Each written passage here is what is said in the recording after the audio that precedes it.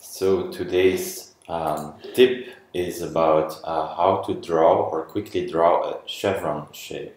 So to begin we're gonna draw a rectangle and then fill it with black. Make sure it has no stroke. And what you can then do is then duplicate it and rotate it. So now we have a plus icon. And what you can do is then select um, both objects uh, with shift click and then without shift click one of them and then it becomes the selected object and you'll see that there is a, a key object align to key object is selected. So we can then align right and then bottom and we have a shape.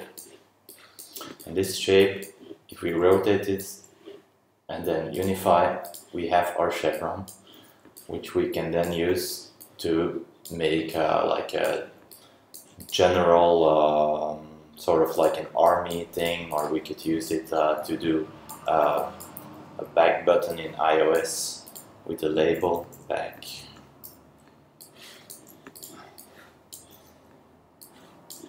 Something like that